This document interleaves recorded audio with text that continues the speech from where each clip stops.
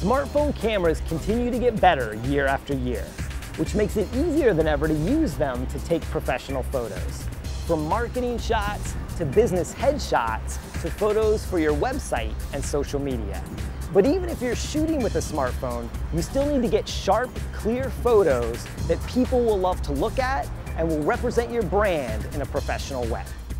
I've been using a smartphone as my primary camera since 2009 when the iPhone got good enough to replace my Canon ELPH. And while today I sometimes use DSLRs, mirrorless cameras, and even experiment with drone cameras, I still use my phone to take more photos than anything else. And you can see that if you look at my Instagram account because I always try to hashtag the name of the device I use to take the shot. Today, I'm gonna share the secrets to making your smartphone photos a lot more professional. So let's go take some pictures and talk about four tips to get you started. Number one, paint with light. Always remember that photography is fundamentally just a way of capturing the way light falls on a subject. A great subject in poor light will always look bad. Smartphones do their best in soft natural light and struggle in low light and using the built-in flash on a smartphone almost always creates bad images.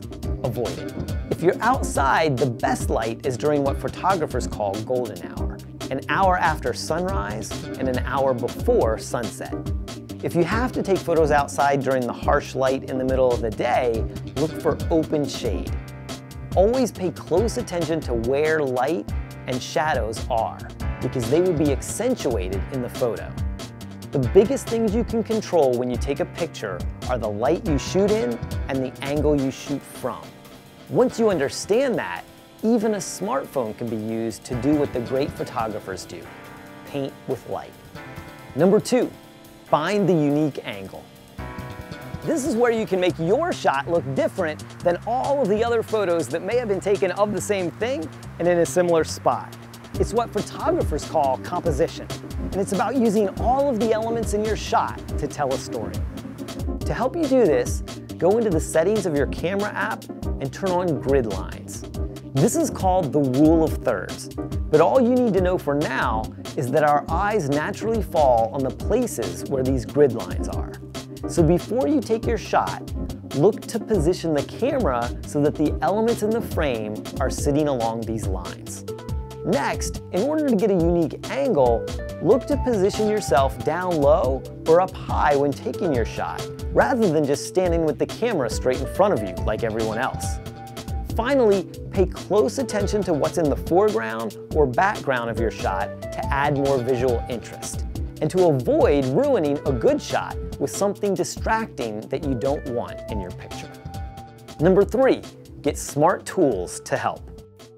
While smartphone cameras themselves have gotten much better, there are also some tools you can use to help you take much stronger photos. The first is something you already have, your headphones. On most modern smartphones, you can use the volume up or down button to snap a photo instead of tapping the screen.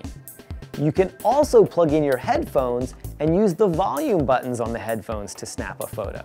Photographers call this a remote shutter release, and you can use it to get a steadier shot. It's especially helpful when you pair it with a tripod, and that's something you can now do with a smartphone tripod mount like the ones from MeFOTO. You may also be tempted to try some of those external lenses you can mount on your phone. Don't do it. I've tried a lot of them, and in most cases they're more trouble than they're worth, and they can make your photos blurry and less professional.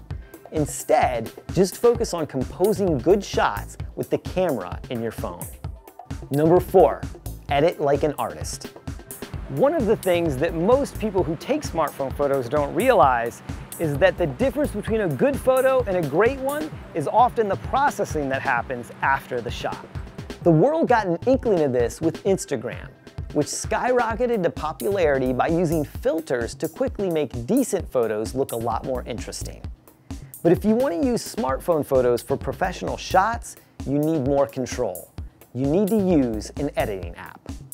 There are a ton of them out there, but the best one to start with is Snapseed, because Google bought it and made it available for free, and it's always adding new features.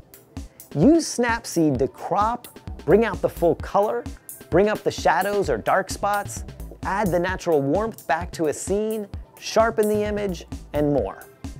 If you use the four tips we talked about today, you'll be well on your way to taking much more professional smartphone photos. If you'd like to see examples of some of the smartphone photos I've taken, like this photo in Florence, Italy, you can find me on Instagram at jason.hiner. And for more great tips, subscribe to TechRepublic's Mobile Enterprise newsletter. Thanks for watching. We'll see you next time.